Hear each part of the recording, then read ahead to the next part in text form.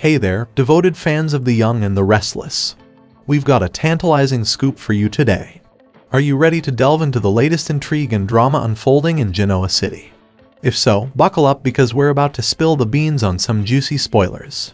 But before we dive into the drama, make sure you're subscribed and have that notification bell ringing so you're always in the know when it comes to your favorite soap opera. Now, let's get into it. It appears that things are heating up between Tucker McCall and Ashley Abbott, and not in the way you might expect. Recent rumors suggest that these two might be pulling off a clever ruse by faking their breakup.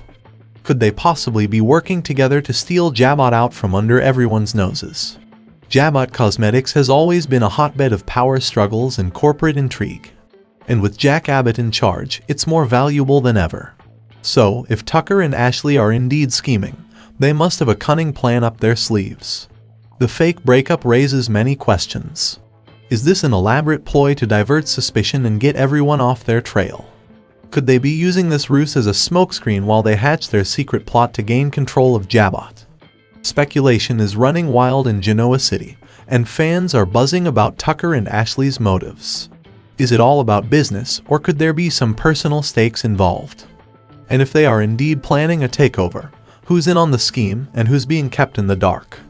As always, the young and the restless fans are a passionate bunch, and they're not holding back their theories and opinions. The anticipation is building, and it's clear that this storyline has everyone on the edge of their seats. And there you have it, soap opera aficionados. The tantalizing possibility that Tucker and Ashley might be faking their breakup to work together and steal Jabot. The intrigue is palpable, and we can't wait to see how this story unfolds. Thanks for joining us today.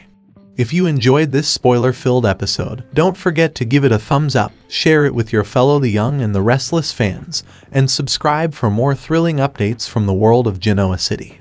Until next time, take care and keep watching The Young and the Restless.